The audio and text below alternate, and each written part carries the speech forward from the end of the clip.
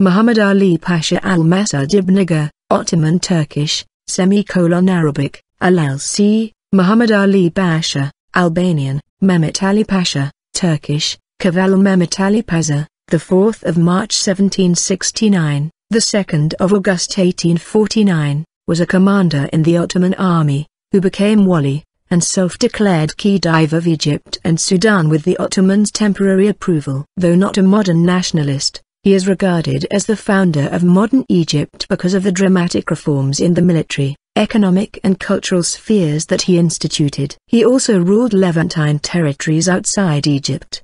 The dynasty that he established would rule Egypt and Sudan until the Egyptian Revolution of 1952 led by Muhammad Naguib. The spelling of Muhammad Ali's first name in both Arabic and Ottoman Turkish was consistent. Muhammad. This is the name by which he was known to his Egyptian subjects, and the name used uniformly in Egyptian and Arab historical scholarship. However, given his original status as a commander in the Ottoman military, his first name is often rendered as Mehmed, which is the standard rendition of that name in Ottoman Turkish, or Mehmet, modern Turkish. Current English language historical scholarship is divided as to which is preferable, with the majority opinion favoring the former. Typically, historians accentuating the Egyptian character of his rule opt for Muhammad, whilst those accentuating the Ottoman character opt for Mehmed or Mehmet. This distinction is an issue for those writing in the Latin alphabet, but not in Arabic. Muhammad Ali was born to Albanian parents in the city of Kavala,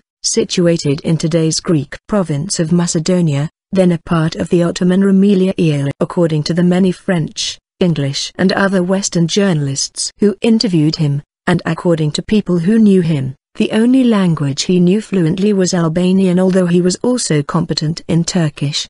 The son of a tobacco and shipping merchant named Ibrahim Aga, his mother Zainab was his uncle Hussein Aga's daughter. Muhammad Ali was the nephew of the Ayan of Kavala, Sorbisi, Hussein Aga. When his father died at a young age, Muhammad was taken and raised by his uncle with his cousins. As a reward for Muhammad Ali's hard work, his uncle Sorbisi gave him the rank of Bulak Bashi for the collection of taxes in the town of Kavala. After Mehmet's promising success in collecting taxes, he gained second commander rank under his cousin Sejzam Halilaga in the Kavala volunteer contingent that was sent to reoccupy Egypt following General Napoleon Bonaparte's withdrawal. He later married Aliaga's daughter, Emin Nosratli, a wealthy widow of Ali Bey. In 1801, his unit was sent, as part of a much larger Ottoman force, to reoccupy Egypt following a brief French occupation that threatened the way of life in Egypt.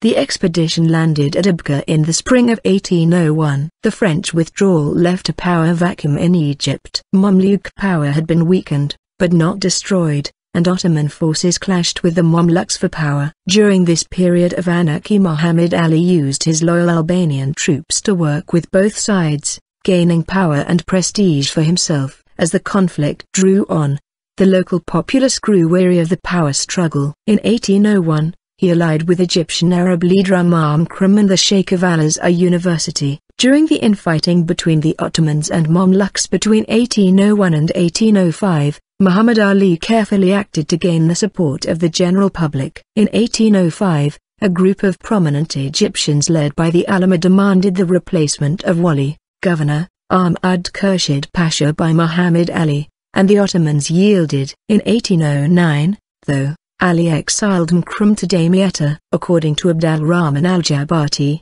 Makram had discovered Muhammad Ali's intentions to seize power for himself. Sultan Selim III could not oppose Muhammad Ali's ascension. By appearing as the champion of the people Muhammad Ali was able to forestall popular opposition until he had consolidated his power. The Mamluks still posed the greatest threat to Muhammad Ali. They had controlled Egypt for more than 600 years and over that time they had extended their rule extensively throughout Egypt. Muhammad Ali's approach was to eliminate the Mamluk leadership, then move against the rank and file. Muhammad Ali invited the Mamluk leaders to a celebration at the Cairo citadel in honor of his son, Tosun, who was to lead a military expedition into Arabia. The event was held on March 1, 1811. When the Mamluks had gathered at the citadel, and were surrounded by Muhammad Ali's troops, he had his troops to kill them. A one, After the leaders were killed, Muhammad Ali dispatched his army throughout Egypt to rout the remainder of the Mamluk forces. Muhammad Ali transformed Egypt into a regional power which he saw as the natural successor to the decaying Ottoman Empire. He summed up his vision for Egypt as follows. I am well aware that the Ottoman Empire is heading by the day toward destruction. On its ruins I will build a vast kingdom.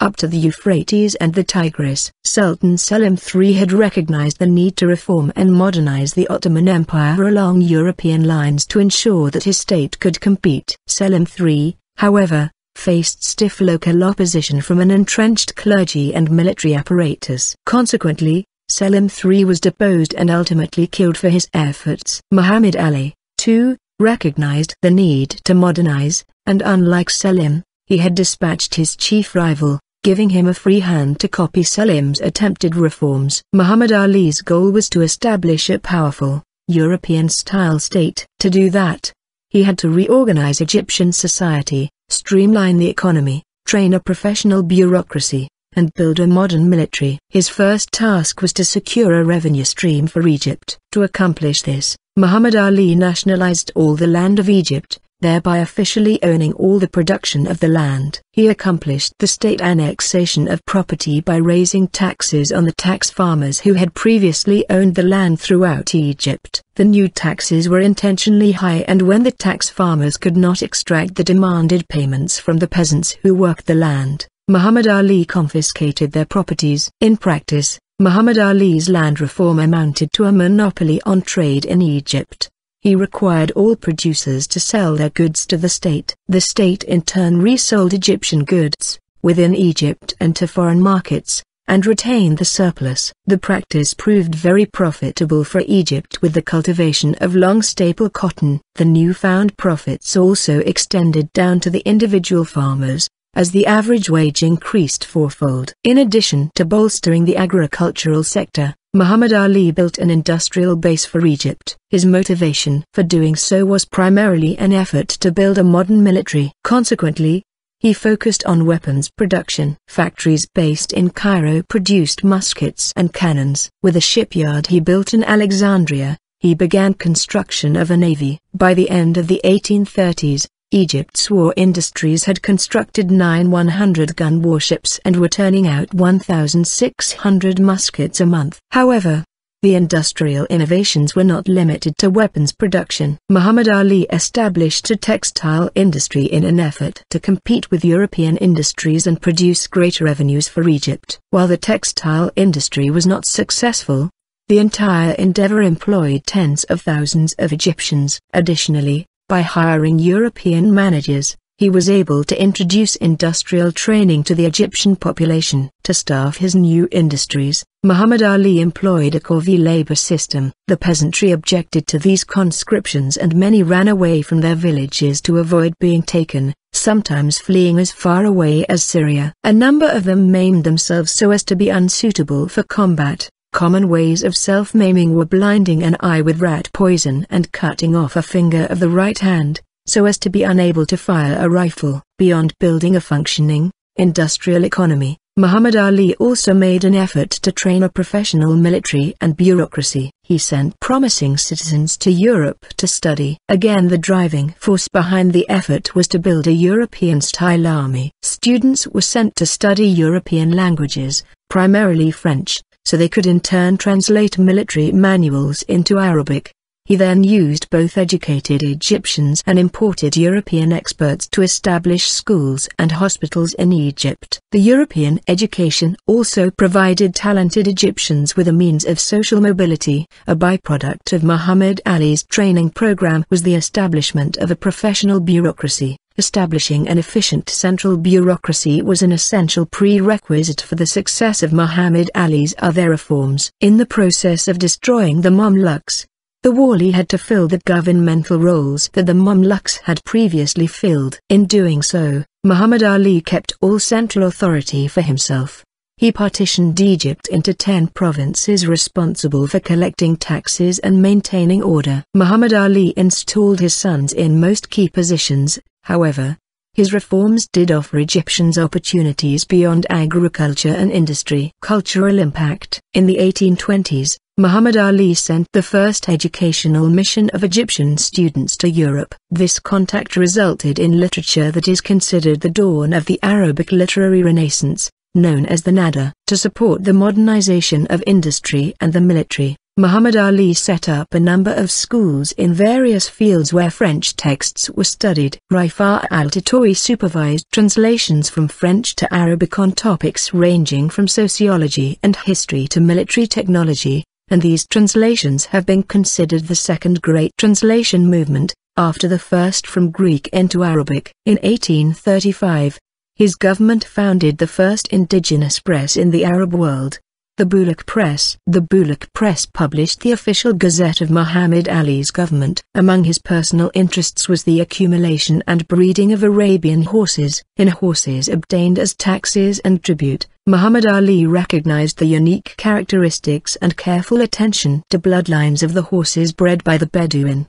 particularly by the Anas in Syria and those bred in the Najd. While his immediate successor had minimal interest in the horse breeding program, his grandson, who became Abbas I shared this interest and further built upon his work. Though Muhammad Ali's chief aim was to establish a European-style military, and carve out a personal empire, he waged war initially on behalf of the Ottoman Sultan, Mahmud II, in Arabia and Greece, although he later came into open conflict with the Ottoman Empire. His first military campaign was an expedition into the Arabian Peninsula. The holy cities of Mecca, and Medina had been captured by the House of Saud, who had recently embraced a literalist Hanbali interpretation of Islam. Armed with their newfound religious zeal, the Saudis began conquering parts of Arabia. This Ottoman-Saudi war culminated in the capture of the Hejaz region by the Ottoman Empire in 1803. With the main Ottoman army tied up in Europe,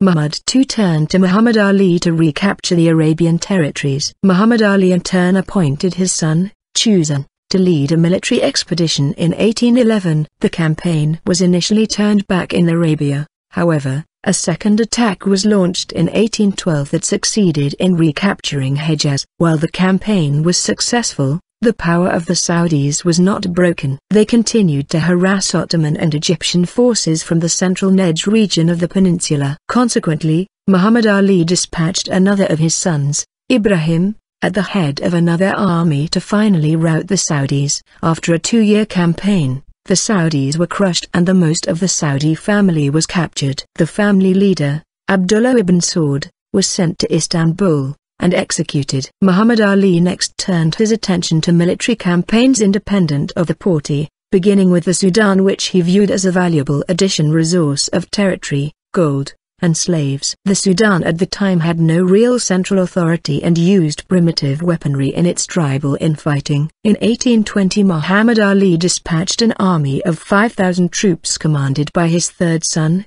Ismail and Abidan Bey, south into Sudan with the intent of conquering the territory and subjugating it to his authority. Ali's troops made headway into Sudan in 1821, but met with fierce resistance by the Shayjaya. Ultimately, the superiority of the Egyptian troops and firearms ensured the defeat of the Shayjaya and the subsequent conquest of the Sudan. Ali now had an outpost from which he could expand to the source of the Nile in Ethiopia and Uganda. His administration captured slaves from the Nuba Mountains, and West and South Sudan, all incorporated into a foot regiment known as the Jihadiyya which were composed of the recently defeated Shayjaya who now took service under the invaders in exchange for keeping their domains. Pronounced Jihadiyya in non-Egyptian Arabic, Ali's reign in Sudan, and that of his immediate successors, is remembered in Sudan as brutal and heavy-handed, contributing to the popular independence struggle of the self-proclaimed Mahdi, Muhammad Ahmad, in 1881, while Muhammad Ali was expanding his authority into Africa, the Ottoman Empire was being challenged by ethnic rebellions in its European territories. The rebellion in the Greek provinces of the Ottoman Empire began in 1821. The Ottoman army proved ineffectual in its attempts to put down the revolt as ethnic violence spread as far as Constantinople. With his own army proving ineffective, Sultan Mahmud II offered Muhammad Ali the island of Crete in exchange for his support in putting down the revolt. Muhammad Ali sent 16,000 soldiers, 100 transports, and 63 escort vessels under command of his son, Ibrahim Pasha. Britain, France, and Russia intervened to protect the Greeks. On the 20th of October 1827 at the Navarino, while under the command of Muharrem Bey, the Ottoman representative, the entire Egyptian navy was sunk by the European Allied fleet, under the command of Admiral Edward Codrington, 1770-1851. If the Porte was not in the least prepared for this confrontation, Muhammad Ali was even less prepared for the loss of his highly competent, expensively assembled and maintained navy. With its fleet essentially destroyed, Egypt had no way to support its forces in Greece and was forced to withdraw. Ultimately the campaign cost Muhammad Ali his navy and yielded no tangible gains. In compensation for this loss, Muhammad Ali asked the Porte for the territory of Syria. The Ottomans were indifferent to the request, the Sultan himself asked blandly what would happen if Syria was given over and Muhammad Ali later deposed. But Muhammad Ali was no longer willing to tolerate Ottoman indifference. To compensate for his and Egypt's losses, the wheels for the conquest of Syria were set in motion. Like other rulers of Egypt before him, Ali desired to control Bilad el-Sham, the Levant, both for its strategic value and for its rich natural resources. Nor was this a sudden, vindictive decision on the part of the Wali since he had harbored this goal since his early years as Egypt's unofficial ruler. For not only had Syria abundant natural resources, it also had a thriving international trading community with well-developed markets throughout the Levant. In addition, it would be a captive market for the goods now being produced in Egypt. Yet perhaps most of all, Syria was desirable as a buffer state between Egypt and the Ottoman Sultan. A new fleet was built, a new army was raised and on the 31st of October 1831, under Ibrahim Pasha, the Egyptian invasion of Syria initiated the First Turco-Egyptian War. For the sake of appearance on the world stage, a pretext for the invasion was vital. Ultimately, the excuse for the expedition was a quarrel with Abdullah Pasha of Acre. The Wali alleged that 6,000 fellahin had fled to Acre to escape the draft, corvée, and taxes, and he wanted them back. The Egyptians overran most of Syria and its hinterland with ease. The strongest and only really significant resistance was put up at the port city of Acre. The Egyptian force eventually captured the city after a six-month siege which lasted from the 3rd of November 1831 to the 27th of May 1832. Unrest on the Egyptian home front increased dramatically during the course of the siege. Ali was forced to squeeze Egypt more and more in order to support his campaign and his people resented the increased burden. After the fall of Acre, the Egyptian army marched north into Anatolia. At the Battle of Konya, the 21st of December 1832, Ibrahim Pasha soundly defeated the Ottoman army led by the Sadrazam Grand Vizier Reshid Pasha. There were now no military obstacles between Ibrahim's forces and Constantinople itself. Through the course of the campaign, Muhammad Ali paid particular focus to the European powers. Fearing another intervention that would reverse all his gains, he proceeded slowly and cautiously. For example, Muhammad Ali continued the practice of using the Sultan's name at Friday prayers in the newly captured territories and continued to circulate Ottoman coins instead of issuing new ones bearing his likeness. So long as Muhammad Ali's march did not threaten to cause the complete collapse of the Ottoman state, the powers in Europe remained as passive observers. Despite this show, Muhammad Ali's goal was now to remove the current Ottoman Sultan Mahmud II and replace him with the Sultan's son the infant Abdulmecid. This possibility so alarmed Mahmud II that he accepted Russia's offer of military aid resulting in the Treaty of Hünkâr İskelesi. Russia's gain dismayed the British and French governments, resulting in their direct intervention. From this position, the European powers brokered a negotiated solution in May 1833 known as the Convention of Kütahya.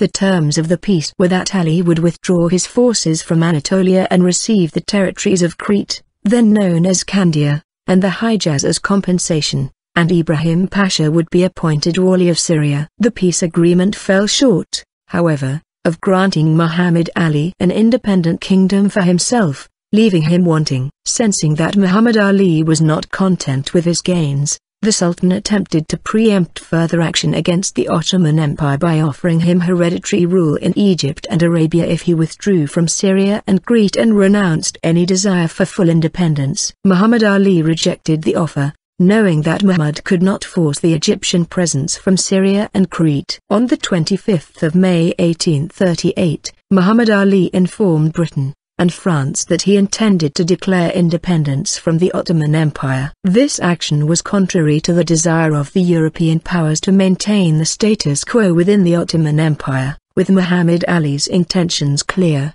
The European powers, particularly Russia, attempted to moderate the situation and prevent conflict. Within the empire, however, both sides were gearing for war. Ibrahim already had a sizable force in Syria. In Constantinople, the Ottoman commander, Hafiz Pasha, assured the Sultan that he could defeat the Egyptian army. When Mahmud II ordered his forces to advance on the Syrian frontier, Ibrahim attacked and destroyed them at the Battle of Nezib, the 24th of June 1839, near Urfa. In an echo of the Battle of Konya, Constantinople was again left vulnerable to Ali's forces. A further blow to the Ottomans was the defection of their fleet to Muhammad Ali. Mahmud II died almost immediately after the battle took place and was succeeded by 16-year-old Abdulmecid. At this point, Ali and Ibrahim began to argue about which course to follow. Ibrahim favored conquering the Ottoman capital and demanding the imperial seat while Muhammad Ali was inclined simply to demand numerous concessions of territory and political autonomy for himself and his family. At this point, the European powers again intervened. See Oriental Crisis of 1840. On the 15th of July 1840, the British government, which had colluded with Austria, Prussia, and Russia to sign the Convention of London, offered Muhammad Ali hereditary rule of Egypt as part of the Ottoman Empire if he withdrew from the Syrian hinterland and the coastal regions of Mount Lebanon. Muhammad Ali hesitated, believing he had support from France. His hesitation proved costly, when French support failed to materialize, British naval forces moved against Syria and Alexandria. In the face of European military might, Muhammad Ali acquiesced. After the British, and Austrian navies blockaded the Nile Delta coastline, shelled Beirut, the 11th of September 1840, and after Acre had capitulated, the 3rd of November 1840, Muhammad Ali agreed to the terms of the convention on the 27th of November 1840.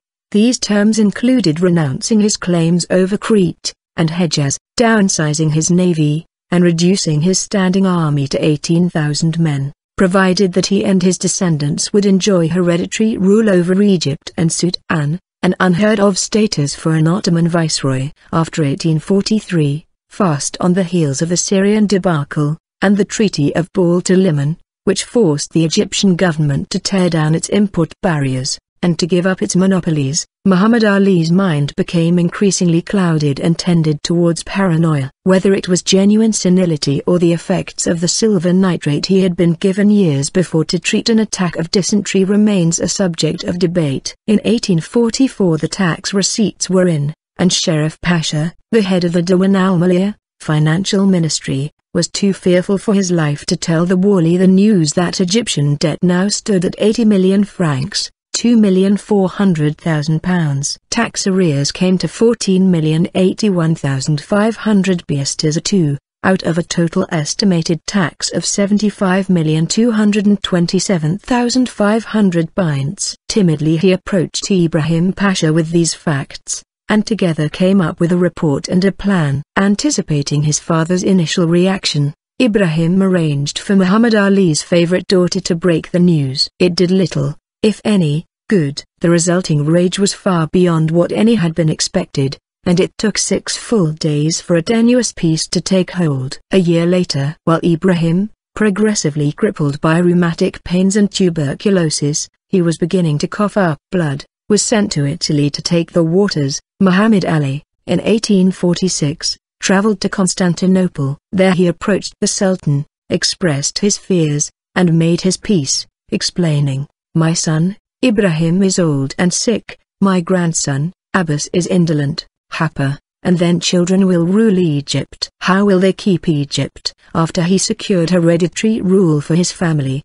The Wali ruled until 1848, when senility made further governance by him impossible. It soon came to the point where his son and heir, the mortally ailing Ibrahim, had no choice but to travel to Constantinople and request that the Sultan recognize him ruler of Egypt and Sudan even though his father was still alive. However, on the ship returning home, Ibrahim, gripped by fever and guilt, succumbed to seizures and hallucinations. He survived the journey but within six months was dead. He was succeeded by his nephew, Tosun's son, Abbas I. By this time Muhammad Ali has become so ill and senile that he was not informed of his son's death. Lingering a few months more, Muhammad Ali died at Ras El Tin Palace in Alexandria on 2 August 1849 and ultimately was buried in the imposing mosque he had commissioned in the Cairo citadel. But the immediate reaction to his death was noticeably low-key, thanks in no small part to the contempt the new Wali Abbas Pasha had always felt towards his grandfather. Eyewitness British consul John Murray wrote, The ceremonial of the funeral was a most meagre, miserable affair, there, diplomatic, consular was not invited to attend, and neither the shops nor the public offices were closed. In short, a general impression prevails that Abbas Pasha has shown a culpable lack of respect for the memory of his illustrious grandfather, in allowing his obsequies to be conducted in so paltry a manner, and in neglecting to attend them in person.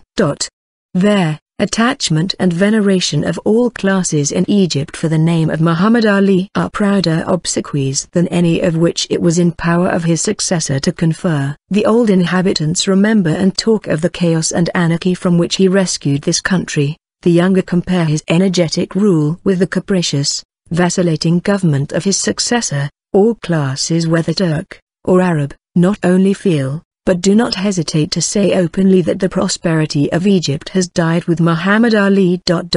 In truth my lord, it cannot be denied, that Muhammad Ali, notwithstanding all his faults was a great man. The prevailing historical view of Muhammad Ali is as the father of modern Egypt, being the first ruler since the Ottoman conquest in 1517 to permanently divest the Porte of its power in Egypt. While failing to achieve formal independence for Egypt during his lifetime, he was successful in laying the foundation for a modern Egyptian state. In the process of building an army to defend and expand his realm, he built a central bureaucracy, an educational system that allowed social mobility, and an economic base that included an agricultural cash crop, cotton, and military-based manufacturing. His efforts established his progeny as the rulers of Egypt and Sudan for nearly 150 years and rendered Egypt a de facto independent state. Others, however, view him not as a builder, but rather as a conqueror of Albanian rather than Egyptian origin. Throughout his reign Turkish rather than Arabic was the official language of his court. Some argue that he exploited Egyptian manpower and resources for his own personal ends, not Egyptian national ones, with the manpower requirements that he placed on Egyptians being particularly onerous. Taken together in this light, Muhammad Ali is cast by some as another in a long line of foreign conquerors dating back to the Persian occupation in 525 BC. This view, however, is at odds with the majority opinion of Egyptian, and other Arab historians, and Egyptian public opinion.